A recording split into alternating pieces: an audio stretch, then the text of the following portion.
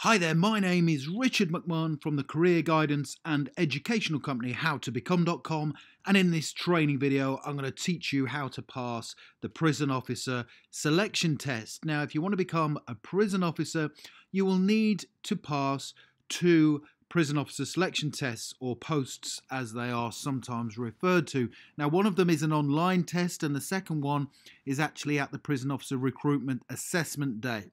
So the test that I'm going to provide you with during this tutorial will help you prepare effectively and fully for both sets of tests. Now the idea is that I'm going to give you a tutorial, I'm going to cover some sample test questions, give you the answers and explanations as to how I reach the answer, but also I'm going to get you guys to try some of the test questions yourself. Okay, so it's interactive, you can try, work it out, um, and then put your answers in the comments section below the video. I will also give you access to further tests. So once we've done this video, watch it from beginning to end, and then I'm going to tell you how you can accelerate your learning even further and help prepare more effectively with some online resources and also a book that will help you to prepare. So let's get straight into it. First of all, about the prison officer selection test, the post. So once you've made your initial online application to be a prison officer and it has been successful, you will be invited to sit an online version of the prison officer selection test. And there is also a post prison officer selection test at the assessment day. And they are both different in the style of questions you'll have to answer.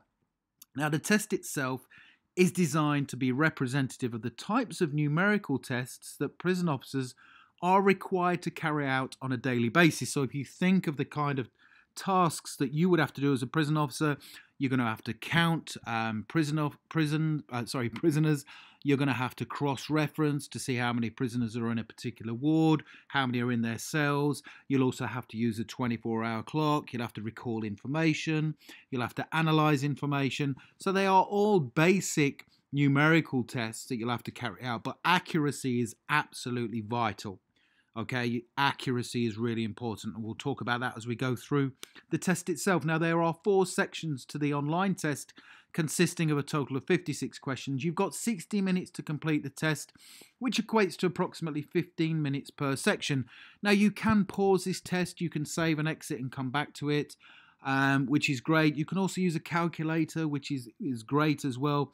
Um, is the test easy? It's not that difficult to pass. However, you can get caught out. Okay, you can get caught out.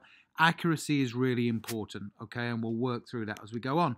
Now, the good news is you are permitted, as I say, to use a calculator and you don't lose any marks for incorrect answers. But don't guess. Uh, my advice is to not guess the answers because it's not like a multiple choice type test where you can guess and you might have a 1 in 4 or 1 in 5 chance of being successful. With this, you have to input your answer. Okay, the questions that you will face during the post are predominantly based, as I said, around numerical reasoning, are representative of the prison officer role. Now, the tests can include addition, subtraction, multiplication, and division, um, not to an advanced level, just to a basic or intermediate level. Ratios and percentages, cross referencing lists and, and checking information. You also have to interpret graphs and charts, and also be able to use the 24 hour clock, which I'm going to talk about briefly in a second before we move on to some sample test questions. So, jobs of this nature, um, like prison service, fire service, police service, ambulance service, you have to be competent in the use of the 24 hour clock. Now, not everyone is competent in the, in the use of it. It's very easy, and I'll give you a quick tutorial, but make sure you fully understand and can use the 24 hour clock. So the 24 hour clock, here is a side by side comparison of the 24 hour clock and also AM and PM because that's how we generally um, use the clock nowadays. It's either 9 AM or 9 PM, um, 11 AM or 11 PM, but that's not the 24 hour version. So if we look at this on the left, starting at midnight, um, up at the top there. So for midnight, it's 0, 0, 0, 0, and then 1 a.m. is 0, 100 hours, 2 a.m. is 0, 200 hours, 0, 3, and so on and so forth. And then when you get into the afternoon, so 12 midday is 12, uh, 1200 hours, and then 1 p.m. is 1300 hours, 1400 hours. So if you need to learn this, my advice is to pause this video here and look at them, okay, and just learn them. But what you can do up until, so from midnight up until midday, it's just 0 to 12, so zero one hours, zero two hours. But once you get past midday, it just goes all the way out to 24. Okay, so 2300 hours, 11 p.m. That's a 24 hour clock. I'll give you a couple of sample test questions to work through as we go through the prison officer selection test during this tutorial. So once you've successfully passed the online post, you will then be invited to attend a recruitment assessment day. And during the recruitment assessment day, or RAD as it is sometimes called, you will sit another version of the prison officer selection test. And as I say, I'm going to help you prepare for that during this video. So let's now take a look at a number of sample prison officer selection test questions. As I said, I'm going to do some um, questions myself and give you the answers and explanations, but I also want you to do a number of them for me. Work them out and then put your responses, your answers in the comment section below the video. Question number one. Okay, so this is basically a number of prisoners. If you look in the bottom left under corner of the screen, it says one person equals one prisoner. We've got the dining room and the exercise yard, the gym, the library, and this is at a prison, a fictitious prison. Question one, which area has the most prisoners? Question two, which area has the least prisoners? And question three, how many prisoners are in the dining room? So basically, you have to add up all of the prisoners in each particular area. And that's the first thing I would do. Now, during the online prison officer selection test, you will have to answer a number of questions based around quite a few of these type of questions where there's prisoners. Um, you have to add them up. So it's looking for speed and accuracy. Remember what I said earlier about addition, subtraction, multiplication, and division. And this kind of question will assess now uh, assess those skills. Now it is quite monotonous because you have to actually sit there and add them up, but you can get them wrong. Okay, because this is quite a basic one. When you see some of the other questions, there's a lot of prisoners in there. So the first one, which area has the most prisoners? Well, what you have to do first and foremost is add up all of the different numbers in each particular area. So it's 32 in the dining room, 27 in the exercise yard, 30 in the library, and also 29 in the gym. So if you've got 60 minutes to complete the test, 15 minutes for each section, even though it's quite easy, you could quite easily get it wrong. So if you got, say, 28 in the gym and you added them all up, you'll be wrong. So, which area has the most prisoners? Well, based on that, it's the dining room. Which area has the least prisoners? Well, we know it's the exercise yard because it's 27. And how many prisoners are there in the dining room? Well, we know it's 32. Very, very easy. So then we'll move on to some other questions based on the same situation. Question number four. A quarter of all prisoners in the dining room go to the gym. How many prisoners remain in the dining room? So we're doing some subtraction here. Step one, we need to calculate a quarter of 32 because it's 32 prisoners in the dining room, but a quarter of them go to the gym.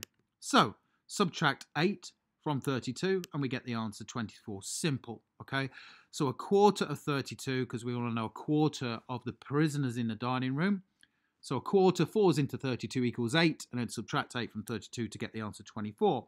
Next question number 5. Half the prisoners in the library, so there's 30 in there, go to the dining room how many prisoners remain in the library. So if it is half, all we have to do is calculate 50% of 30. Really easy to do, and the answer is 15. Question number six. Now it's your turn. I want you guys to have a go at this.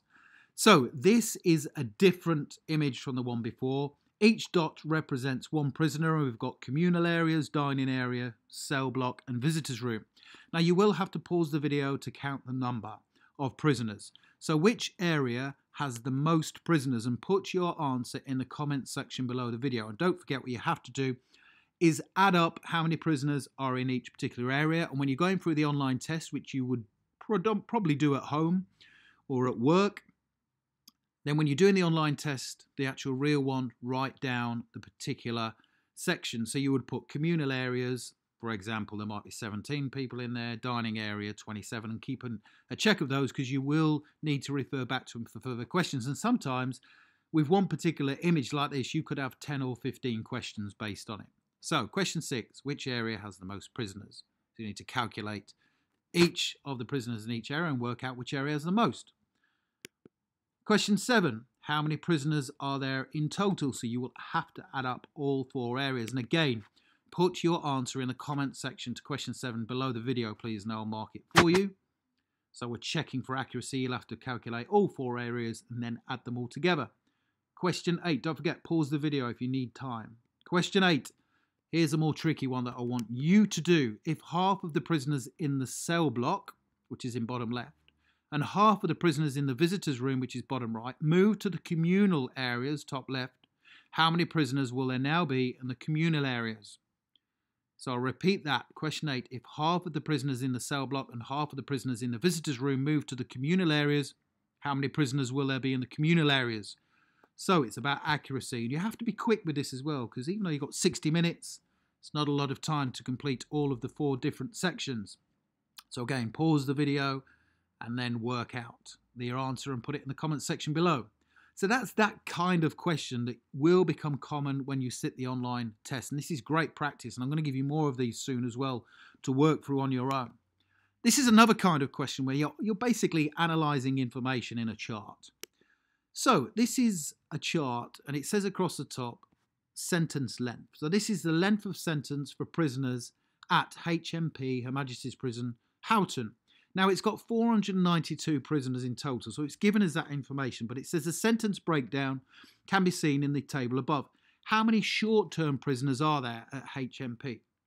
Okay, so we then blue circle it, okay, add them all up, and then we know the answer is 392. Okay, so 392 in total because we add them all up. Next question. All short-term and long-term prisoners on the green and orange wings are moved to another prison. How many prisoners remain at HMP Houghton?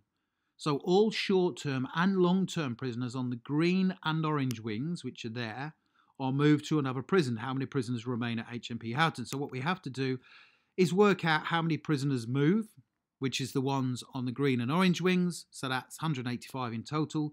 Then we need to subtract the total number, which is 492 minus 185. So the answer is 307 remain at HMP Houghton. Okay, another question. And I want you to work this out, please. Question 11. 80 prison officers work at HMP Houghton. Of these, 30 work on the red wing, 15 work on the blue wing, and 15 work on the green wing. Of the remaining prison officers, 50% work on the yellow wing and 50% work on the orange wing, how many prison officers work on the yellow wing? So this chart above doesn't have any reference to this question. But I'll repeat that 80 prison officers work at HMP Houghton. Of these, 30 work on the red wing, 15 work on the blue wing, and 15 work on the green wing. Of the remaining prison officers, 50% work on the yellow wing and 50% on the orange wing how many prison officers work on the yellow wing? So put your answer to question 11 in the comments section below the video, please, and I will um, I'll mark it for you to let you know if you got it correct or not. Question 12. Now, it takes a prison officer 20 minutes to search one cell. What is the maximum number of cells a prison officer will be able to search in 3 hours and 20 minutes? So it takes a prison officer 20 minutes to search one cell. What is the maximum number of cells a prison officer will be able to search in 3 hours and 20 minutes? So what you basically have to do is to work out how many 20 minutes there are in 3 hours and 20 minutes. Step 1, convert 3 hours and 20 minutes into minutes. So there are 60 minutes per hour. Therefore, 3 hours times 60 plus the 20 minutes added on at the end equals 200 minutes. Step 2, divide 200 minutes into 20, the minutes it takes to search one cell, to achieve your answer. So the answer is that 10 sales can be searched in total. Question 13. In education, it takes a teacher 10 minutes to mark each prisoner's piece of coursework. The teacher has 63 pieces of coursework to mark in total and has allocated 1 hour and 30 minutes each day to mark. How many days will it take the teacher to mark all 63 pieces of coursework? Please Put your answer to this question, number 13, in the comments section below the video. I'll repeat the question, number 13. In education, it takes a teacher 10 minutes to mark each prisoner's piece of coursework. The teacher has 63 pieces of coursework to mark in total and has allocated 1 hour and 30 minutes each day to mark. How many days will it take the teacher to mark all 63 pieces of coursework? So put your answer to question 13 in the comments section below, please. And if you need to pause the video to work it out, please do. Question 14. Now we're coming on to the 24 hour clock. When prison officers write reports, they use the 24 hour clock.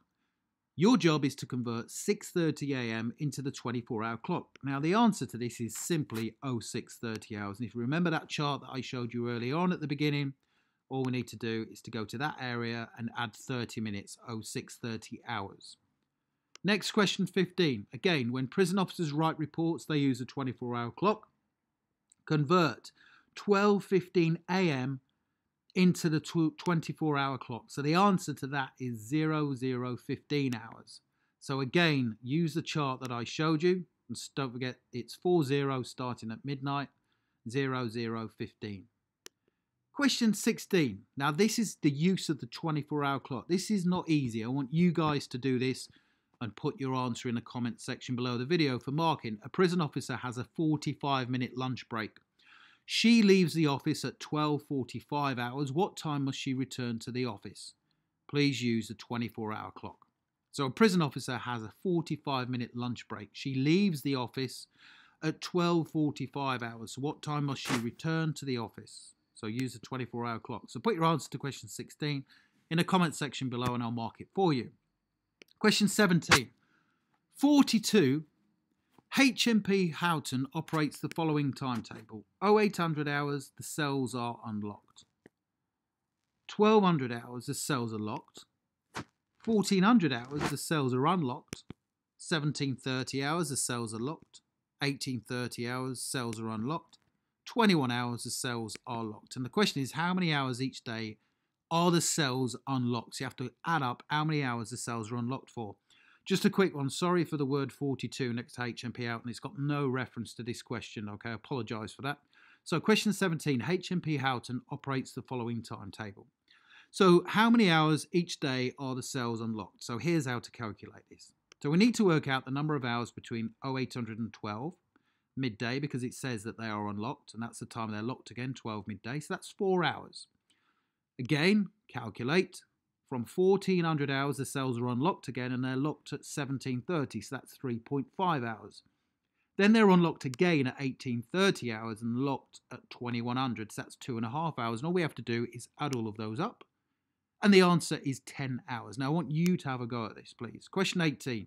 Again, disregard the 42. That's my mistake. Question 18. HMP Houghton operates the following timetable.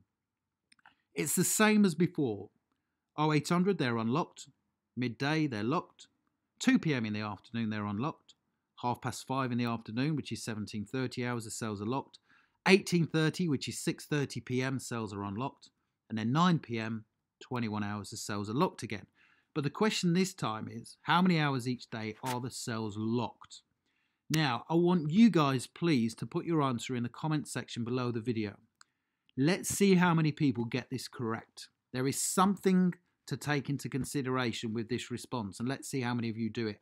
I bet the majority of people get it wrong, but please prove me wrong and get it correct.